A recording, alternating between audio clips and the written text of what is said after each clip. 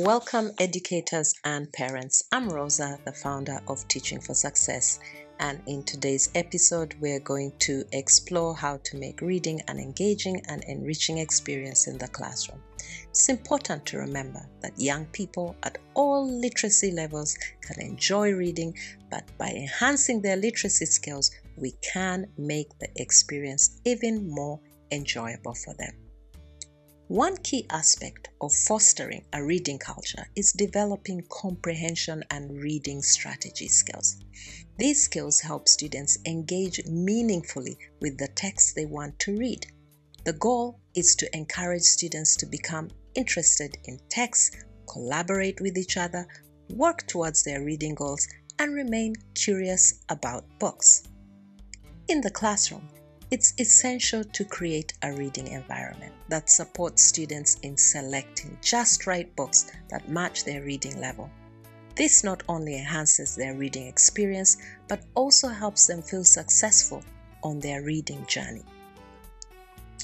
To establish a reading culture, we can incorporate various strategies across the curriculum, such as dedicated reading time, meaning we set aside time for daily reading for pleasure in the classroom.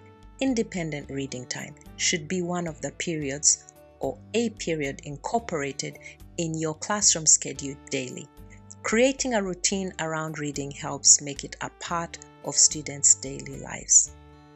Provision of comfortable reading spaces.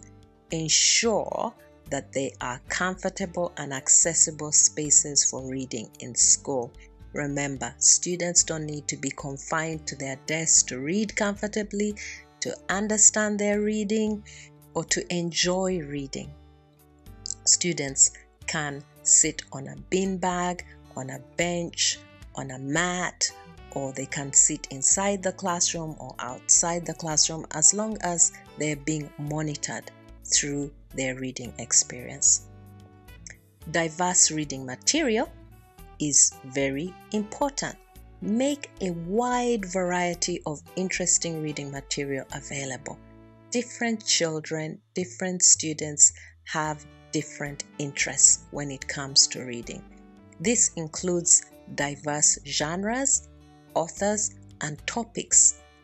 So it's important to cater to a wide range of interests when you're providing reading material for your students. Also, you can encourage students and staff to recommend books to one another. Students will most likely be inclined to read a book that has been recommended by their peer rather than by their teacher. So, personal recommendations can spark curiosity and interest in reading. Organize events such as author visits, book sales, role play, and readers' theatre to create excitement about reading. Remember, reading comprehension is a vital component of promoting a reading culture. Some students can decode or read words but struggle still to deeply understand a text they're reading or to read with a critical mindset. To help students make meaning of what they're reading, consider using comprehension strategies like the following. For example, you can encourage students to ask questions throughout the reading process before reading, during, and after reading. For example, they can ponder the meaning of a book title why has the author used this title for the book? If you read the title, what does it tell you about what the book may be about? What is going on in the illustrations on the cover of the book? Or relate personal experiences to the characters in the book. Cultural relevance is important. Please, please ensure that the books you provide are culturally responsive and relevant. Growing up as a young child, I used to wonder why they used to say O is for orange. First of all, oranges when I grew up were green or yellow or a combination of green and yellow. I had never seen orange oranges because so I couldn't understand why our teachers used to say oh for orange. It should be G for green oranges or something like that. It just didn't make any sense to me. Not until I was able to travel to Europe and actually see orange oranges. And then finally, it made sense to me why they used O for oranges to teach the alphabet. Another example is when I would read books about different seasons like winter and summer and spring. That didn't make any sense to me because in Uganda it was either the rainy season or the dry season. There's nothing wrong with learning about other cultures, about other countries, about different uh, weather around the world, but it's so important as well to include books for our students to read that are relevant to them. I didn't understand why the fall season is called the fall season, right? I didn't understand that it's called the fall season in countries that experience winter because during that season the leaves dry up, the green leaves dry up, they become yellow, or sometimes they go from green to red, or orange, or yellow, or brown, and then they shrivel up, dry up, and fall off the trees so that the whole of the winter, most of the trees, unless they're coniferous trees, the trees do not have leaves on them. So, fall meaning the leaves fall off. It's a season where the leaves fall off the trees. Didn't make any sense to me in Uganda. Okay, so students should also be able to see themselves in the characters and situations in the book. For example, students should be able to read about books uh, of uh, with pictures of children of the same skin color as them with um, homes that look like theirs, with schools that look like theirs, um, with um, characters that have similar life experiences to them, you know, and students should be able to see maybe people with different abilities, like disabled people, in a book. Those should also be included in the books that we read to let uh, our students who are disabled know that they're also important, they're also relevant, and their stories also appear in books. Including books by African authors as well can be particularly meaningful as they can better, readers can better understand the culture and experiences of the authors. Making inferences can help readers improve their comprehension. Uh, for instance, they can infer a character's personality or interest from the details provided in a text. For example, you can have a person who uh, goes to different places in the world, is interested in different cultures uh, of different peoples in the world. Uh, that person uh, we can infer is a hodophile, which is someone who loves to travel, you know, to different places. Okay. Readers' theater is another very, very interesting way of making reading engaging in the classroom.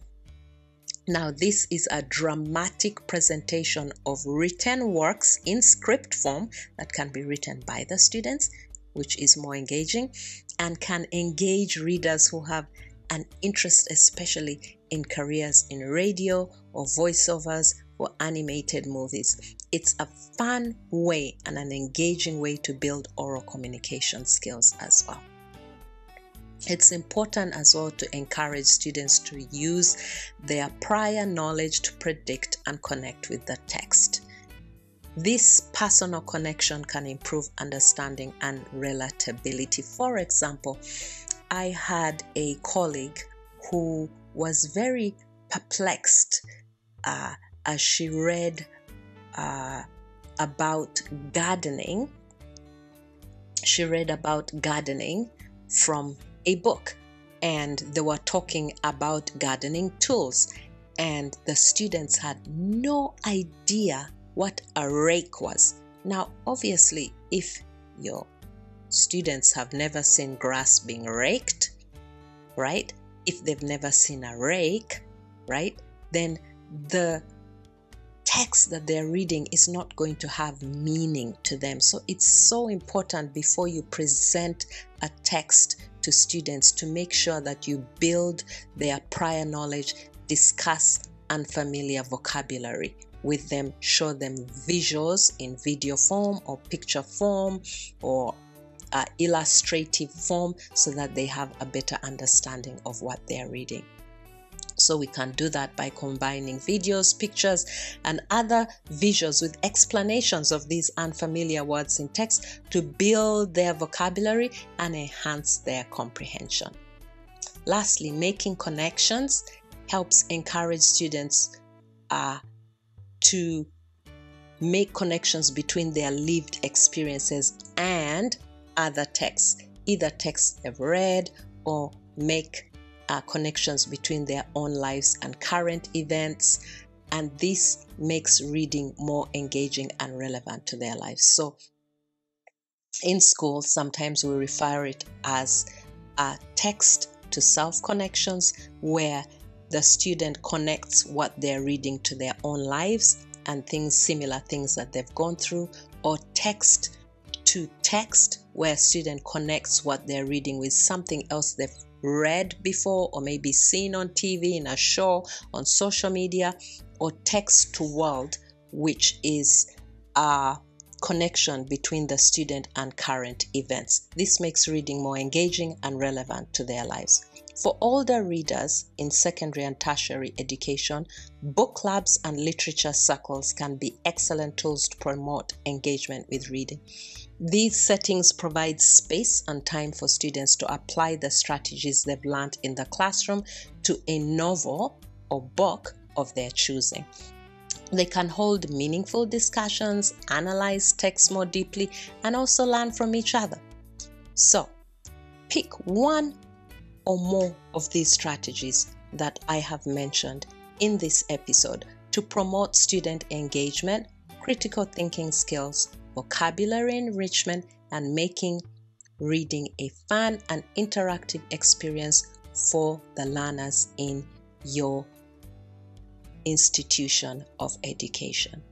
I hope that you've enjoyed our reading culture series and please stay tuned for more exciting topics from Teaching for Success. Thank you for joining us on this journey to promote a lifelong love for reading.